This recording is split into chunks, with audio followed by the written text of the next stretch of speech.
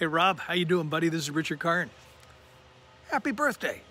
You're turning 34. Oh, I love my 30s. I'm telling you. And you know what else is cool? I didn't become Al Borland until I was 35. That's right. Now, I know you're a contractor. Uh, maybe the poor man's Tim Allen. That's what your friends are calling you.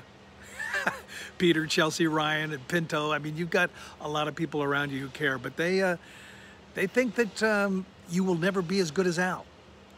Heck, I'm not even as good as Al, and I played him. That's right. You know who Al was? He was my dad. My dad was the builder. He was the contractor, and he was really good.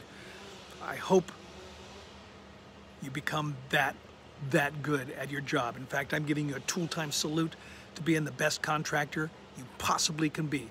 So, you got a few years to work on that, and you got people around you who care and love about you. So, sleep tight in that Robert Pattinson pillow. That's right. So, you're Team Pattinson?